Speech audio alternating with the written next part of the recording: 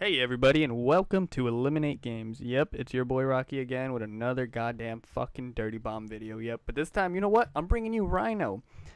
Rhino. Fucking Rhino. Rhino, Rhino, Rhino. Alright, let's get the fucking basics out the way right away. We got 200 health, which is the most out of any character in Dirty Bomb.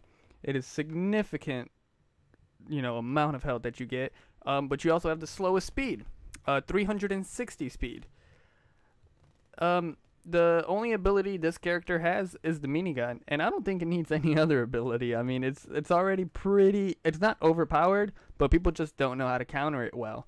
Um, because that minigun does have unlimited ammo, which is pretty good to use. Uh, the standard loadout for this um, Merc is the Ahnuhld 12, which is a fucking shotgun. Uh, all the all the weapons, the primary weapon for this character, is a shotgun. Uh, the secondary is a Schutzwetzmann, which is, um, I believe, a knockoff of the Smith & Wesson uh, 40, which is a revolver, and also the Beck Hill combat knife as the melee weapon, which is um, pretty pretty redundant because if they're close to you, you just fucking spam them with the minigun. Well, anyway, so this minigun, what it does is, uh, let, let me explain how the minigun works, because a lot of people have questions as to how the minigun specifically works. So there is no ammo. Uh, uh, your cooldown is literally so so when you use it, it overheats if you use it too much, and then your cooldown is literally how long it takes to cool. So you don't have a set timer. Um, one of the main things I do is I make sure I don't overheat all the way because if you overheat all the way, then the character uh, cooldown for the minigun, you have to wait for it to go all the way back down to zero. Um, but if you stop the minigun like a millisecond before and you don't allow it to overheat all the way and it begins to cool down, you can then use the minigun again even even before it's done cooling down. Um, you do have to wait, you know, a tiny little bit for your minigun to spin before it starts firing, so you do have to take that into consideration. Uh, while you have the minigun out, there's no aiming. Like you, you kind of free aim. There's a there's a crosshair on the screen, but it is you know hip fire, as anyone would expect. Uh, you don't you don't really have sights. Um, and so holding down the aim button when you're playing in the game when you got the minigun allows you to spin the barrel, so you can be prepared. But you're not allowed to sprint while holding uh, the while spinning the barrels. You're not allowed to sprint. So I mean that's a good little balance right there. So, um, I mean, these videos I got in here, I thought I was doing pretty fucking good with the Rhino. I know there's people out there who can do a lot better, but I, I mean, I threw three games together that I did almost simul like one after another, and I was just fucking wrecking them. I don't know how much of the actual gameplay I'm gonna be able to fit into this video, but what I show, I hope, is the best for you guys. Now I'm gonna go down to what I use in my card, which um, it comes with the Remburg 7, which is another shotgun. I love that shotgun on this character. Um, again, that Smith & Wesson knockoff, uh, the 40. And uh, the card I use also has the Cricket Bat. Uh, the three abilities it has on mine is the Nitrous, which is the only card, you know, the only loadout card that Rhino has that has this ability, which is a 50% increase to barrel acceleration. Now, I've been looking all over the internet trying to figure out what that means in terms of the actual weapon, if it's like the spin time before firing, um, if it's when you're actually firing, how many rounds per minute you could put out.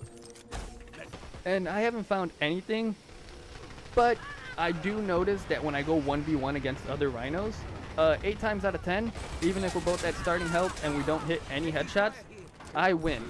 Now, I don't know why that is, but I'm assuming it has to do with the nitrous and not my skill.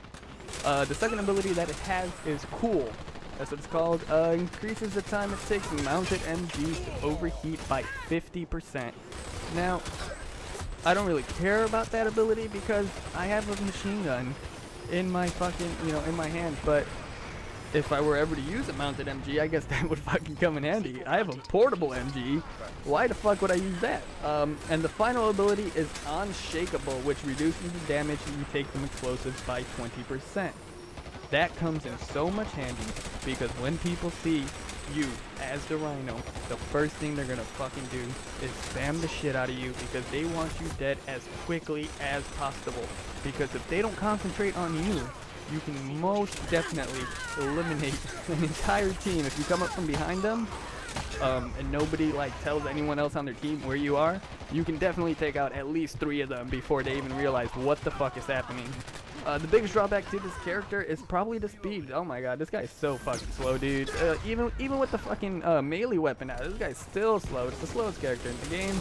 Uh, running away from combat, not an option. Definitely not an option. Uh, any character will just chase you down and gun you down and fucking kill you. Um, so, but I mean, having so much health comes in handy. One of the things that people don't realize is that this whole character is armored. So, you know, dealing damage to the body, I feel is not as effective as just shooting for the head. This character is definitely one of those characters that you definitely, definitely, definitely just want to shoot straight in the head, eliminate as quickly as possible. So that's one thing you need to watch out for when you're playing as this character is players who can aim very well at the head. I've noticed that um, this character is prone to dying from headshots from uh, fully automatic weapons because like that last bit, uh, you know, just, it'll just pop you in the head and it'll deal so much amount of massive damage that it'll just fucking get you. Uh, so let's get into the actual, um, I mean, what, what, what is there much else to say? You probably want to know um, when you're using the minigun, the recoil.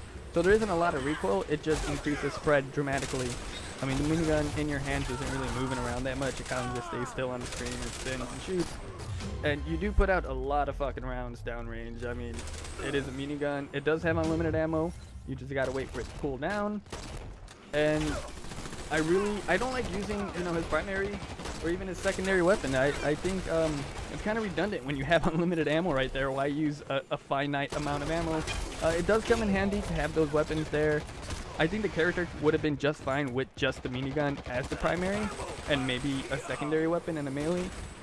But, I mean, they decided to give him a primary as well. And they gave him the shotgun, which is very, very, very well balanced in my opinion. Had to give him a long range weapon like an assault rifle. Even this game, assault rifles and submachine guns can go a very long distance.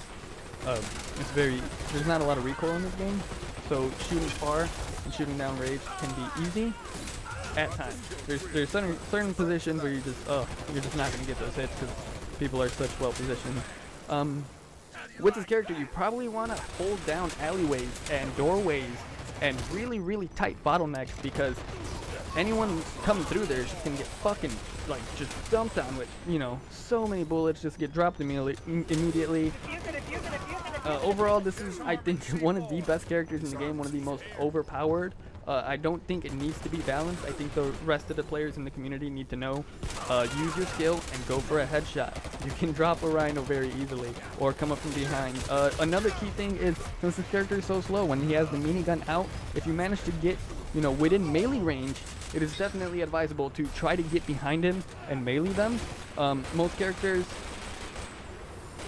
won't have the skill to turn around. Uh, I know several times I've had characters just come up on me. Uh, I'll be at full health, and they hit me three, four times with the melee, and I just, I just can't turn around fast enough to fucking kill them. Or, it's, I mean, there's, there's no point in running. There really is not any point in running with this character. You cannot run. Uh, being such a large health character, you're definitely playing a tank, as you would expect. So you do want to be at the front line. Uh, if your team does not have a medic, I strongly advise you to tell your team, um, hey, can someone go medic to cover me? If no one wants to go medic, um, playing this character can be very difficult. He's slow. Uh, he doesn't have a lot of accuracy. I mean, he's using shotguns and miniguns. That's that's not very accurate. Um, but the minigun can go a long distance. Uh, burst firing is so useful, so so so useful. Uh, also, eliminating eliminating turrets from bushwhackers, uh, help stations from auras. You know, those are so easily taken out with the minigun because you're putting out so much damage and you kind of just have to aim in a, in a single area. Uh, the main thing to take away from this character is you're slow, so be careful. And burst firing the minigun is fucking amazing. You can drop so many people. Even when they're close to you, burst firing is still significantly better. Uh, if there's a shit ton of people, you know, you could just hold that trigger down and, you know, put a thousand rounds out and hope to kill fucking someone. Uh, and I think that's it. I hope you guys like this gameplay. I think I'm just gonna let the gameplay run a little bit longer than the commentary because I really like the the the gameplay that I had these two games. I don't I don't know if I can fit the video in the commentary because I'm recording these separately. I already have the videos ready Uh, I just have to edit them, cut out the fucking loading screens, all that, the boring shit, the shit you guys don't want to see. Uh, and then this commentary is gonna go over it. But if you like this, if you like this video, you know, give it a thumbs up, subscribe, comment, all that bullshit. Tweet it to your friends. Uh, hashtag Foursquare it. Um, I, I mean, I don't know what the fuck you guys do. I don't know who fucking watches this. But if you are watching it, please share, please, please share. Um, and yeah, thanks for watching, guys. Until next time. Later.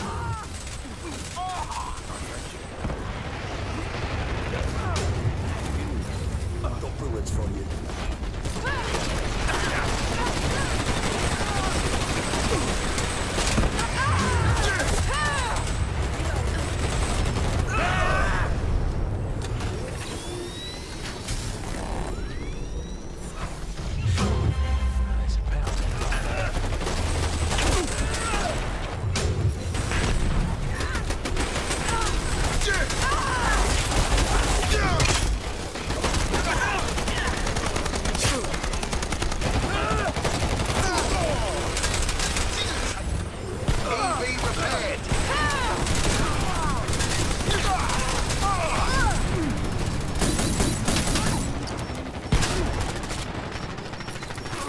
Disarming C4.